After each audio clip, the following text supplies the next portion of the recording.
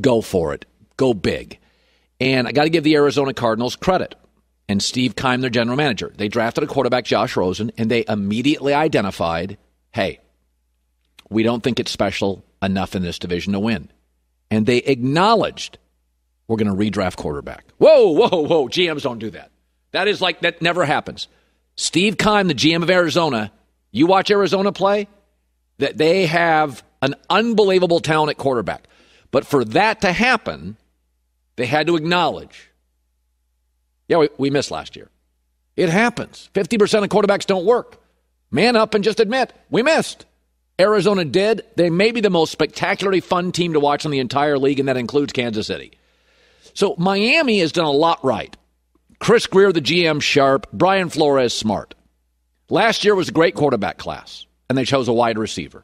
Folks, there's 25 to 30 wide receivers a year in this draft that come into this league and play. At 30 a year, more than ever. California, high school football in California, there's 40 Division One wide receivers. There's about three big time quarterbacks. You can get a receiver anywhere. And they stuck with Tua. And they stuck with Tua knowing in their division they would have to face for the next 10 years Josh Allen 20 times minimum. Bigger, stronger, athletic, agile, huge arm. But they had just drafted Tua, and they could not acknowledge in a great quarterback class at a position that's 50 50 if you can get one good quarterback a class, a great one, one a class. And they stuck with wide receiver, and they stuck with Tua. And Brian Flores knew I can't beat him. Buffalo's beaten Miami six straight times.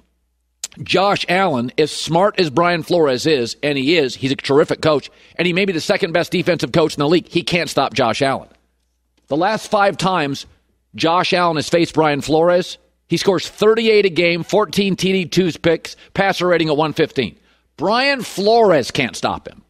Brian Flores knows when I face him, if I stick with Tua for the next 10 years, I will be at a massive size, arm, athletic ability deficit 20 out of 20 times.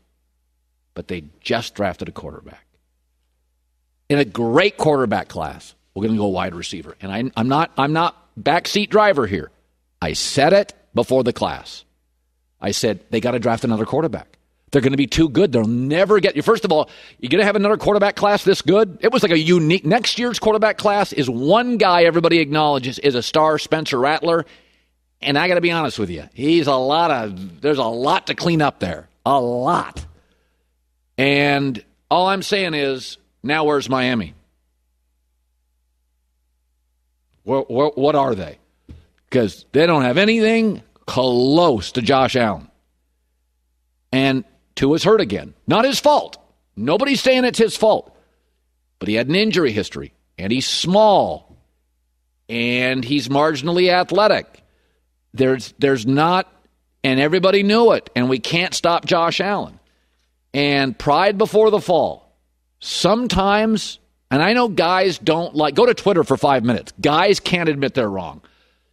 But sometimes the most brilliant decision is admitting my previous decision was completely off base. You're not beating Buffalo for a decade unless you get that quarterback position more athletic, bigger, stronger, faster. You're not beating them because Brian Flores now can't even, it, it, doesn't matter. They can't stop Josh Allen. By the way, not many can.